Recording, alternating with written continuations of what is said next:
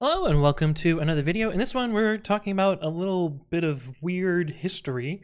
Uh, I was working on an old package on stream which had a very strange version constraint, and I'm going to explain why it was that way and why you no longer need to do this, because hopefully you're not dealing with tools that make this same mistake. Uh, but anyway, let's jump into it. Okay, the package I was dealing with, I think was this one uh, which I wrote way back in, I think, 2014. This is a really old piece of code. Uh, it's been, you know, updated along the years, but I don't really use it all that much anymore. Um, but the, the oddity was this version constraint here, where I had greater than or equal to 0.15.0 and less than or equal to 0.15.999. And someone asked in chat, oh, why, why would you do that instead of just doing less than 0.16.0? Um, and this is this is what you would do today, and you know this hack is no longer needed. But I'm going to show you why why this hack used to be needed, uh, and it's it's a very very subtle and silly thing that happens here. Um, but anyway, this is this is the the subject of the video today. Okay, uh, in order to understand this, you kind of have to go back to the year 2014. Um, but uh, I'll actually show you a problem that still exists with this today. Uh, so let's set up a virtual environment. I actually have to use an old version of Python. Actually, I don't need it for this virtual env. We'll make another virtual env with a different version later. Um, and we're going to install packaging. This is a utility that pip and a bunch of other tools in the packaging namespace use to manage you know things about packaging versions requirements constraints that sort of stuff uh, i guess it doesn't have a constraint solver that's different but it has uh, some other utilities for parsing those and, and understanding them. Anyway, uh, in packaging, there is a version from packaging.version import version, and this manages how versions are compared in uh, pip and stuff. And so, uh, say we had, you know, v1 being version 0.15.0, uh, and v2 being version 0. 16.0. Um, and then we can kind of represent our version constraint that we talked about earlier. Sorry, my room is making weird noises.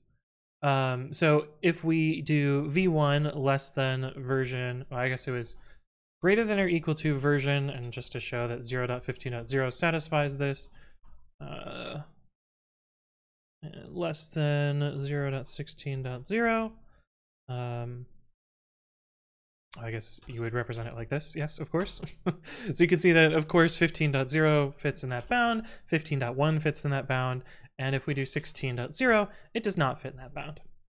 The one tricky edge case here, however, is if we do, actually, I should have just written this out. Uh, I realized I didn't use my little constants here. Uh, the one tricky edge case here is that 16 alpha satisfies this this uh, version bound here. So it is less than version 16.0. Um, and we don't really want to like the, the the entire goal of the less than was to pin to a minor version. Uh, but this would be the next major version, next minor whatever version. Uh, so this doesn't quite satisfy our constraint there. And in modern pip, it doesn't do this. In modern pip, this will be false. Like pip won't pip won't pre-install uh, or won't install pre-install packages, even if you ask for pre-install packages, if they don't fit this minor version constraint, because there's, you know, the, the the edge case changed over the years. Uh, but if we set up a little package, I can show you that there's an old version of pip um, that was relevant in way back when in uh, 2014. Name equals wat, version equals, we'll start with 1.0. Um, just make a py_modules equals uh, and we'll touch wat.py. That'll get us our little package here. I'm gonna use Python 3.5 here because it'll be old enough to actually demo this. Uh, we're just going to make a bunch of different wheels of this. So 1.0, we'll also do 1.1. We'll do 2.0 and 2.0 alpha 1. Uh, so if we see we have a few versions of the package here, I'm going to set up a PyPI server, just a local one to demo this. Uh, so if we install PyPI server, I think the option is PyPI server uh, y slash dist, and then it should start serving packages. I think it serves on 8080, if I recall correctly. Um, okay, and we have to install pip less than 6, which should install 1.5.6, I think? Yeah, 1.5.6, very old pip. and if we do pip install dash dash pre, uh, wat greater than or equal to 1 and less than 2, uh, and then index URL localhost 8080 slash index, or no, slash simple. Um, yeah, this will erroneously install version 2.0 alpha 1, even though we asked for less than 2 uh, due to that same versioning bug.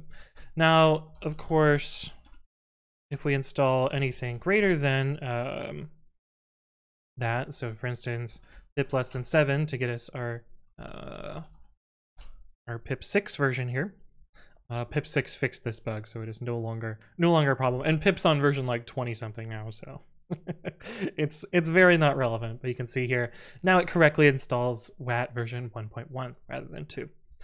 Uh, but anyway, a little bit of history here, kind of a, a, weird little quirk of why I did that. It's no longer relevant now unless you have some sort of you know, broken packaging system that doesn't treat these properly, um, or if you're using, you know, there's there's literally no way you're still using pip 1.5, hopefully. Otherwise, oh man, you have bigger problems than this. Uh, but anyway, hopefully you found this interesting. If there are additional things you would like me to explain, leave a comment below or reach out to me on the various platforms. But thank you all for watching, and I will see you in the next one.